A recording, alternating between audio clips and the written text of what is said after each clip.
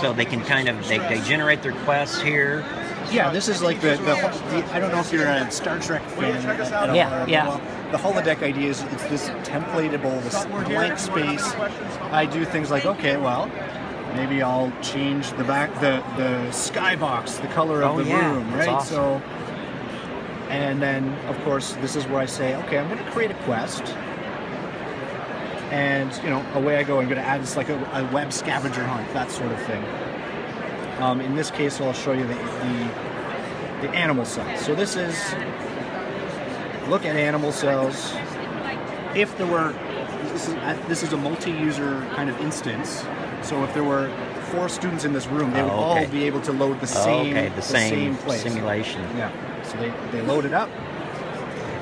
Now this is a very basic level one, but um, it's it's meant for say a grade uh, third grade student identifying Oh, okay. organelles. So welcome back, animal cell. Oh, because I already had the, the quest. So I'm gonna hop on my hoverboard.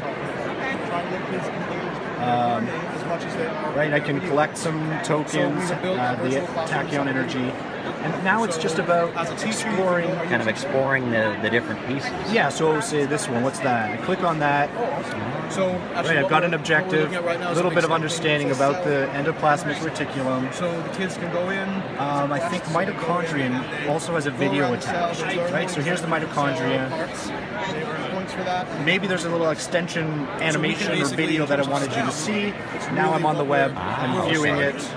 So much um, STEM stuff that can in be built in relation 3D to environment. So we are um, starting off with. And, and again, depending on what type of student you are, you, you maybe you're just other STEM stuff going directly to the content. Okay, what's that? What's that? at this conference Or you're an explorer, so you start flying around and finding the hidden gems and things like that. Exactly. What Very we want to cool.